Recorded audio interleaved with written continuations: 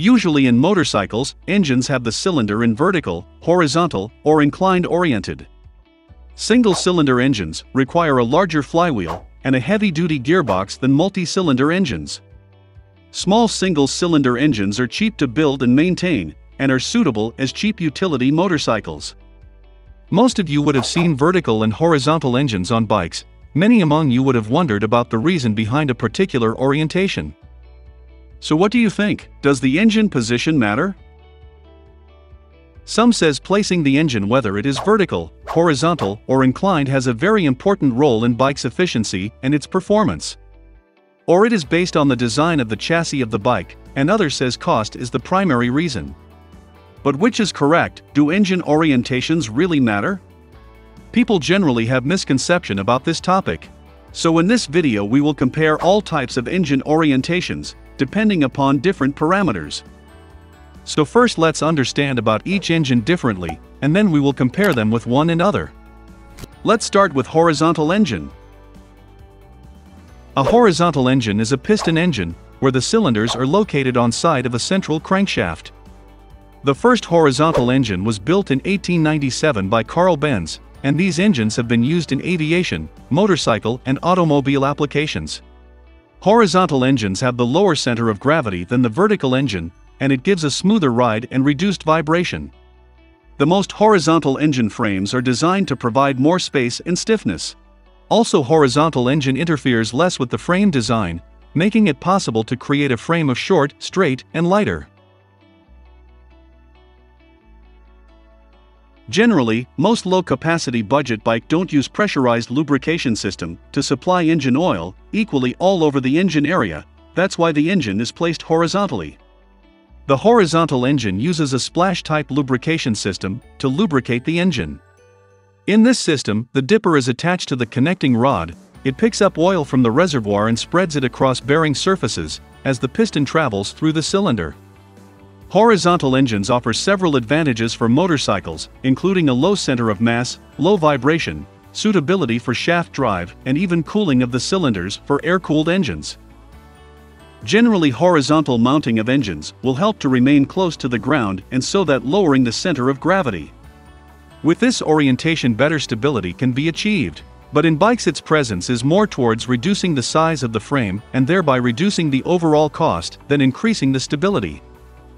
One of the most serious disadvantage is that due to their horizontal position, the part of the piston which is near the ground gets weared off soon compared to the other side, this wearing effect greatly reduces the efficiency.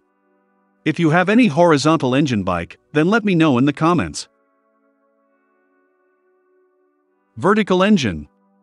An engine in which the piston moves vertically up and down and the crankshaft is usually below the cylinder. Engines, such as the typical inline 4 and 6-cylinder models, operate in a vertical straight line with the pistons running straight up and down as the engine rotate. Most of the people believe that the vertical engines are more powerful, but is a pure misconception. When the cylinder is in the exact vertical position, total weight of the cylinder comes into the action, and this would slightly reduce the overall efficiency.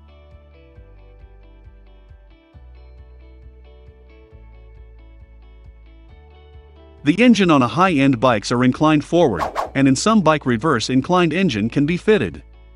Reversed inclined engine means that the engine is tilted towards the back. The longer swing arm provides greater stability to the bike, while the shorter wheelbase makes it a very agile.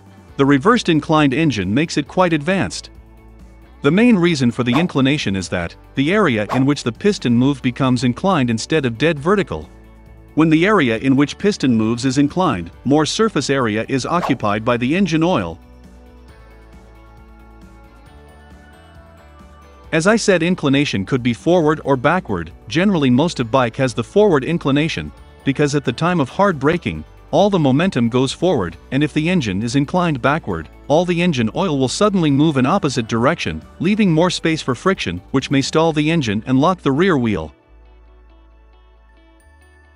These are some factors need to be considered while placing the engine in bike.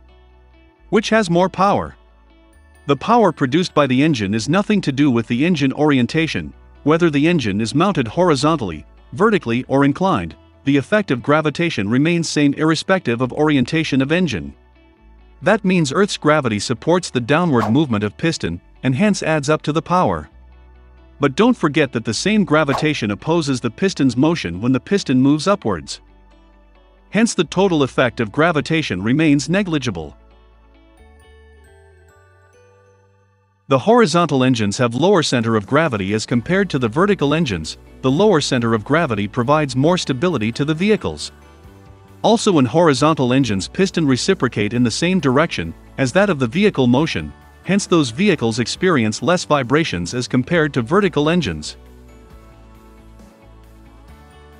Space is a very important factor in arrangement of engines, the bigger engines generally have fuel pumps and cooling systems which makes them bulky, and hence they cannot be accommodated properly inside the frame horizontally. The lower cc capacity engines, for example 100 cubic centimeters engines, are smaller in size and hence can be easily mounted horizontally on frame. The horizontal fitment of engine provides good space below the fuel tank, and hence utility box can be fitted easily. In horizontal engines, piston always rests on one side of cylinder.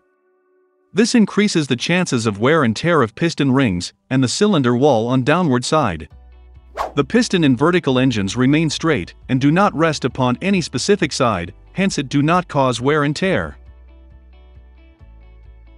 The horizontal engines are better aligned with the air flow direction and hence get cooled easily. The most of the parts of the horizontal engines are exposed to the air this adds up to the cooling by air convection. On other hand, the vertical engines are not completely exposed to the moving air, that's why they have poor chances to be cooled by air. Balancing When you design the crankshaft piston assembly, it needs to be balanced for less wear and vibration. It is easier to do so in vertical engines than horizontal engines.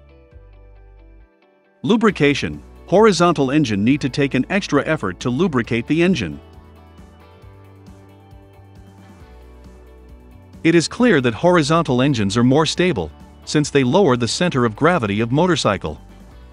When the cylinder is in the exact vertical position, total weight of the cylinder comes into action, and this would slightly reduce the overall efficiency. The best possible arrangement would be of inclined orientation. The inclined engines are also easily accommodated inside the frame, and their exposed area to flowing air also increases a bit.